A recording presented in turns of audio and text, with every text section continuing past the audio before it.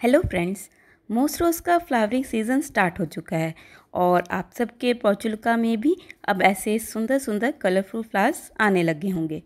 लेकिन अगर आपके किसी पौचुलका की लीव्स ऐसी थोड़ी मुड़ी हुई या कर्ल सी हैं और उन पर ऐसे वाइट कलर के पैचेस भी हैं तो ये वीडियो आपके लिए बहुत यूज़फुल रहेगी। क्योंकि आज इस वीडियो में मैं आपको मोस्ट्रोस की इसी प्रॉब्लम के रीज़न्स और उनके सॉल्यूशंस भी बताऊँगी। तो इसके मेनली दो रीज़न होते हैं।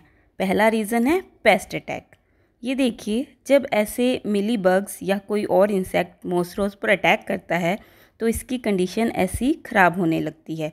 और अगर आप टाइमली इसे ट्रीट नहीं करेंगे तो ये मर जाएगा। तो इसे ट्रीट करने के लिए आपको इस पर कोई इंसेक्टिसाइड स्प्रे करना होगा।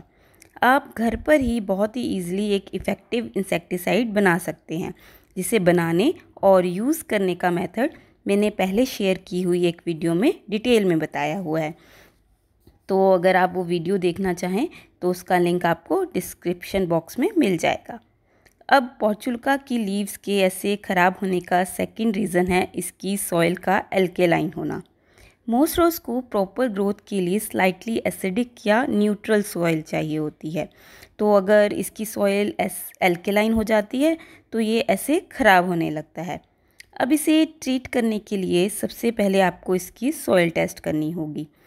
सॉइल आप पीएच मीटर से टेस्ट कर सकते हैं और अगर आपके पास पीएच मीटर नहीं है तो आप वो वीडियो देख सकते हैं जिसमें मैंने घर पर ही अवेलेबल चीज़ों से सॉइल की पीएच टेस्ट करने का मेथड बताया हुआ है और उस वीडियो का लिंक भी डिस्क्रिप्शन बॉक्स में है। अब अगर टेस्ट करने पर इसकी सॉइल एल्केलाइन आती है तो आपको उसे न्यूट्रल बनाना होगा। आप घर पर अवेलेबल चीज़ों से ही बहुत ही ईजिली सॉइल की पीएच एडजस्ट कर सकते हैं और इसका मेथड भी मैंने पहले एक वीडियो में बताया हुआ है और उस वीडियो का लिंक भी आपको डिस्क्रिप्शन बॉक्स में मिल जाएगा। तो इस तरह आप अपने मोसरोज को ईज़िली रिवाइव कर सकते हैं। तो फ्रेंड्स अगर आपको ये वीडियो यूज़फुल लगी तो प्लीज़ लाइक करें शेयर करें और मेरे चैनल को सब्सक्राइब करें। Thank you and happy gardening